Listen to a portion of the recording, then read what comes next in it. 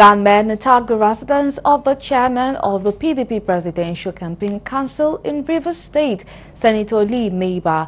About five cars in the residence were vandalized and three persons were reportedly injured during the attack on the residence of a former senator who represented Rivers Southeast at the National Assembly. He said neighbors observed strange movements around his residence and later a young man called him to warn him about the planned attack. Maeba said his house was attacked shortly after he went out to visit his mother-in-law. Senator Maeba explains how he called the police commissioner in Rivers State and no response.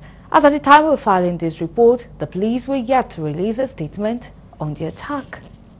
I enter her house at Ojere, just drove out of here, get into her house.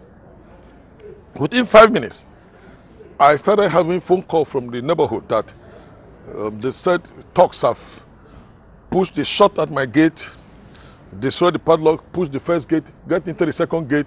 It was a plate gate. They started jumping all over the place. Tried the gates open, tie up the security. My senior brother was somewhere in the gym. They pounced on him. He tried to run. They told him, where is your brother? One bullet will solve this article problem now.